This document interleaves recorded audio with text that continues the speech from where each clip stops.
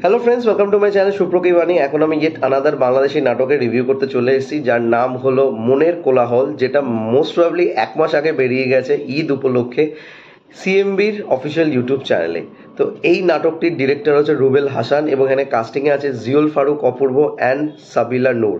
এছাড়াও আছে আরও অনেকে। তো কেমন লাগল এই নাটকটাই সব কিছু নিয়ে তোমার সাথে শেয়ার করব।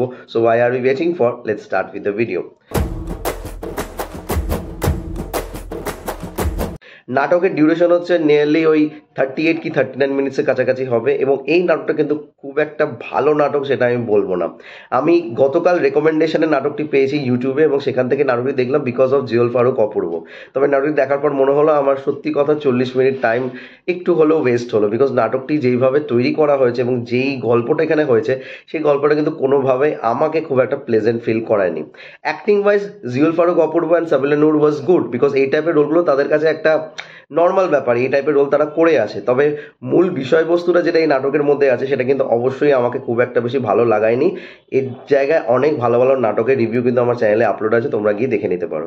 ছোট করে যদি গল্পটা বলা যায়, গল্পটা হচ্ছে জিওল ফারুক অপূর্বর চরিত্রকে ঘিরে, যে শপিং মলে হঠাৎ করে সাবিলা নূরের চরিত্রকে দেখে এবং দেখেই ফার্স্ট সাইড লাভে পড়ে যায়। তারপর তার সাথে নানা রকম কথাবার্তা হয় এবং সেই কথাবার্তা থেকে তাদের মধ্যে তুতু ম্যামে শুরু হয়। এবং সেই তুতু ম্যামেটা কত দূর অবধি যায় এবং আলটিমেটলি তাদের কি প্রেম বিলাপ হয় কি না সেই সব কিছু জানার জন্য তোমাদের এই নাটকটি দেখতে হবে।